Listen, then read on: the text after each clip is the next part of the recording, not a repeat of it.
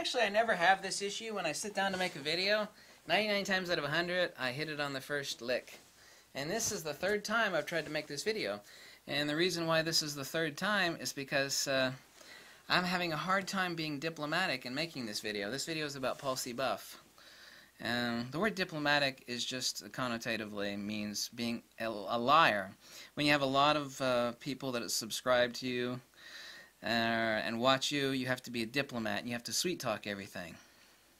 And I'm not like that. I'm I'm rather brutal. You know, cut to the chase. Let's be honest. You know, even I can look in the mirror and be brutally honest, like fat, bold, and ugly. You got a a voice and a personality that is kind of like a cheese grater. I know that. I'm extremely intelligent. Yes, I am. Um, the third try for this video, and this video is about Paul. Buff, is another YouTube channel made, and I've chosen this word specifically, dishonest video about Paul. Buff. I'm not affiliated with Paul. Buff at all. Uh, I put my money where my mouth is. I've got eight Paul. Buff uh, strobes. Four, four of them are Einsteins, two ABR 800s, Digibee, yada yada, tons of light mods, Paul. Buff.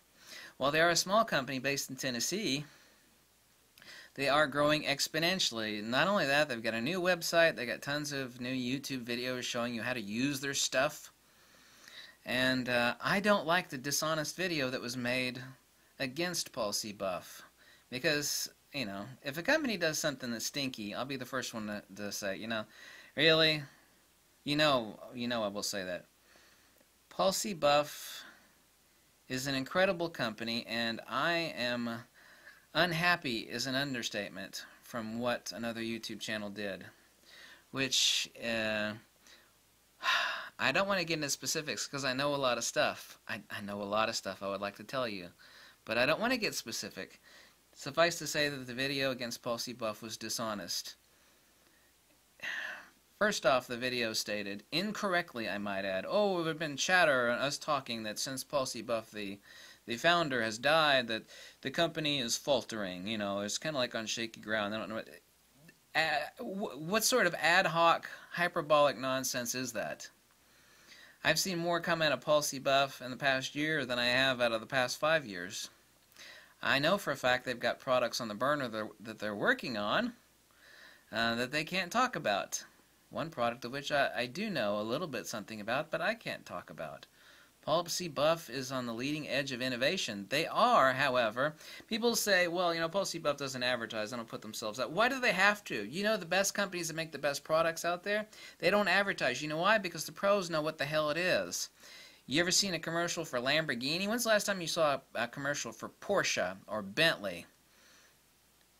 When? When's the last time you saw a commercial while watching CNN or Fox or whatever the hell it is you watch for Rolex? These companies don't need to advertise. You see, here's a statement I made ages ago. Trash has to scream. What does that mean?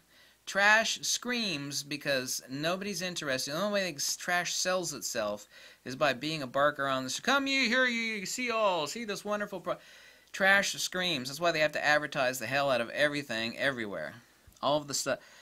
C. Buff does not have to do that. The professionals out there that are using C. Buff, just like Broncolor, there's only one uh, outfit that is producing slightly in some aspects uh, with amazing recycle time. Of course, it's astronomically more expensive as Broncolor okay, than C. Buff. But Broncolor and C. Buff are two radically different companies. If you want to talk about something that is astronomically more expensive and yet still doesn't have many of the features of most of the C. Buff units, I'm not talking about Broncolor. I know C. Buff does not ship outside of the United States. However, you can get C. Buff outside of the United States. You just have to use a forwarding service. As a company based in the United States, C. Buff a does not sell to retail stores because they are not interested in taking a cut and selling to the retail stores underneath the retail price and having the retail stores take a cut of that. That's their own decision. That's their that is their company to do with as they please. You know what? I don't know, and I've worked in four camera stores, and that's why the other video is dishonest. Uh, they one of the one things they were uh, uh, trashing Paul C. Buff about is that you can't walk into a camera store and there are not many camera stores left, for Christ's sakes. You can't walk into a camera store and try out a buff unit. Well, who gives a damn? You, you know, you could walk into a camera store and try a camera and a lens, but you don't walk into a camera store. So let's hook up that studio strobe and stick uh, your uh, your female employee Lisa over there. I'm gonna do some. That doesn't happen. What the hell does C. Buff need to stick their uh, studio strobes into a retail store for? And even if they were there, who the hell's going to test drive a studio strobe in a camera store? Nobody is. I mean, by implication, what? You couldn't order a C. Buff and be unhappy and like return the unit? Of course, people don't do that because they're so incredible and they're so inexpensive. The other comment saying that the owner is dead and therefore we we're some scuttlebutt that Paul C. Buff is fault. And there's nobody saying that stuff. I would be the first person to hear stuff like that. Just the opposite is happening. Their website is brand new, just went online like two or three weeks ago. A, a, a, new website, lots and lots of YouTube videos on training and instruction. New products coming out. They just released a new product. They just released an amazing new boom pole that's unlike anything else out there. It weighs a ton. It's in my back room back there. I bought that uh, a few months ago. That's a new product from them. You know, there's also no company out there, including Broncolor, which is astronomically expensive, that if you buy a used C. Buff might not like me saying this, but this is kind of their unwritten policy, and it's unwritten, but it, they do have some writing on their website if you want to refer to their specific website for the specifics on that, that if you do something stupid, like your dog pisses on your strobe and it's ruined, or you drop it down a, you know, an embankment, you know, and it's ruined or damaged, that you can send it back to C. Buff way out of warranty, and they will fix the unit for cost and uh, parts and shipping, something to that effect. I've had a lot of people contact me about Paul. Buff, like, oh my god, I bought a used unit, an old used unit, and it had something broken on it, shipped it back Paul. Buff.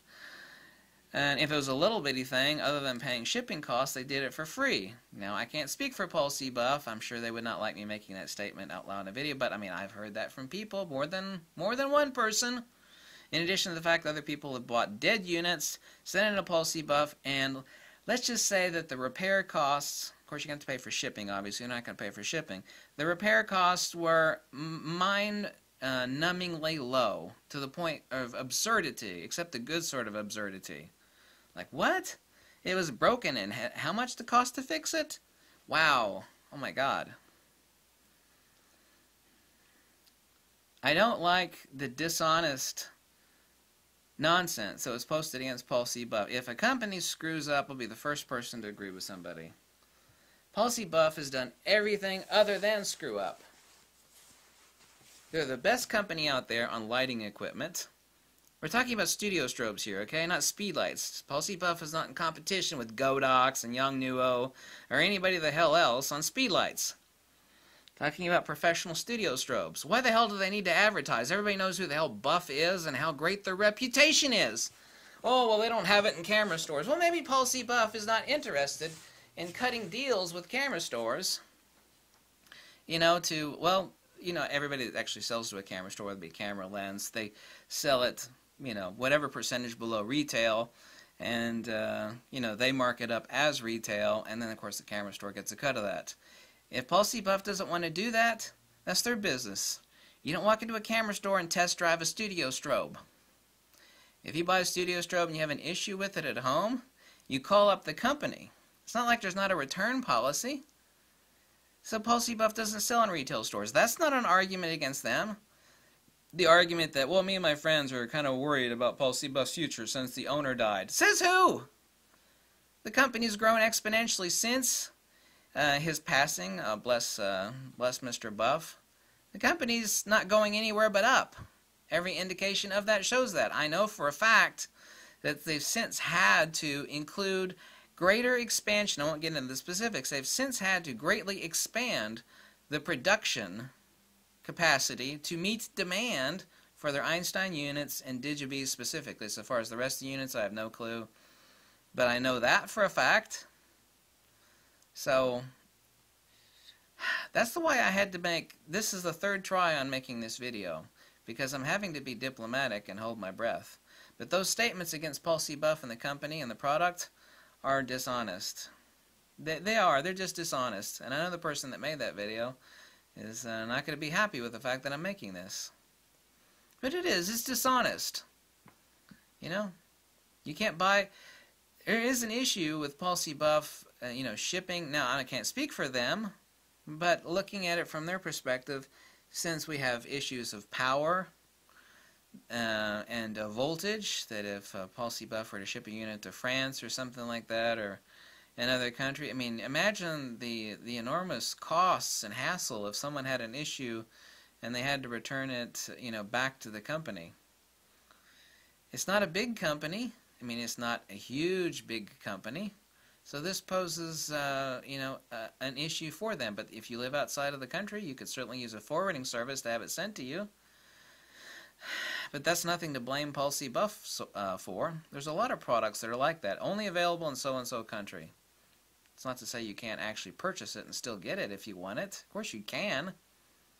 Um, we're talking about studio strobes here, though, not speed lights. And C. Buff does not.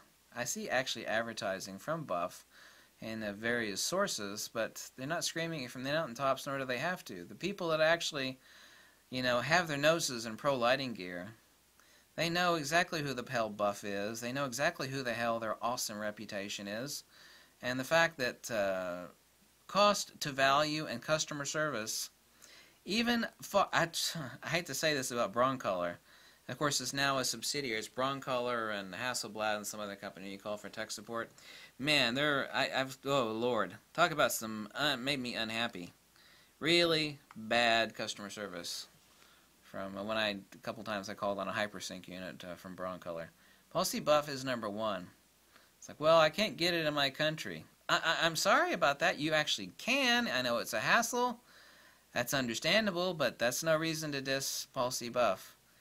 You know? And just because C. Buff is not giving a specific YouTube photography channel like sponsorship or free gear, you know, that's no reason to, you know, months ago praise Paul C. Buff, but oh, now they're not giving me stuff, so I'm going to praise a Chinese knockoff. Yeah, this is the, oh Lord Jesus. That's, uh, it's just not right, you know? I may have a, uh, uh, an oddball personality or whatever you may think. That's an image from Benjamin Kennerich. But that's just not right.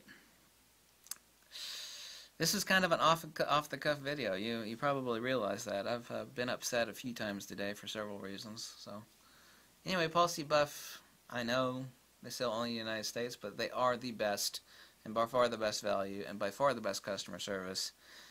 And they've only greatly expanded in the past few years, not the inverse. So I don't like the dishonesty leveled against Paul C. Buff because it is undeserved in the extreme.